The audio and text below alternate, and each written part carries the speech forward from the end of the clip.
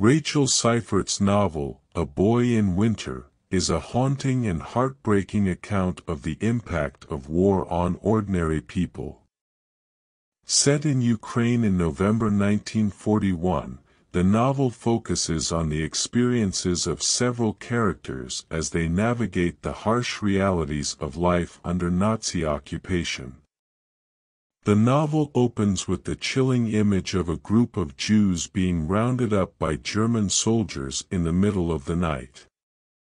The scene is witnessed by Yasia, a young Ukrainian girl, and her friend Mykola, who are out looking for Yasia's missing younger brother. The sight of the Jews being loaded onto trucks and taken away to an unknown fate sets the tone for the rest of the novel, which is characterized by a sense of foreboding and impending doom. As the story progresses, we are introduced to several other characters, including Yankel, a Jewish father who has been separated from his wife and child, and Otto Pohl, a German engineer who is in charge of building a road through the town. Each of these characters is struggling to survive in their own way, and Seiffert does an excellent job of conveying the complexity and humanity of each one. One of the most powerful aspects of the novel is the way in which Seiffert depicts the psychological toll of war on those who are caught up in it. We see this most clearly in the character of Yankel, who is consumed by guilt and grief over the fate of his family. Despite the horrors he has witnessed, however, he remains committed to the idea that goodness and decency can still exist in the world.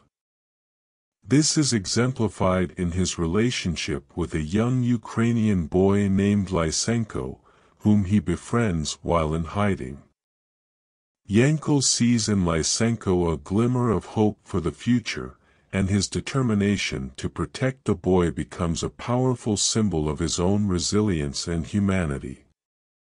Seiffert's writing is spare and precise, and she uses imagery and symbolism to great effect throughout the novel. For example, the image of the road that Otto Pohl is building serves as a metaphor for the path that the characters are all traveling down, whether they realize it or not. The road represents progress and civilization, but it is also a reminder of the brutal and inhuman nature of war, and the way in which it tears apart the fabric of society.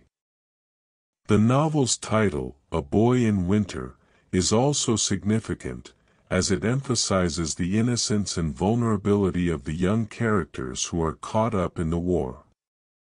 Whether it is Yasia and her brother, Lysenko, or the Jewish children who are taken away in the opening scene, the novel highlights the tragic impact of war on those who are least equipped to cope with its brutality.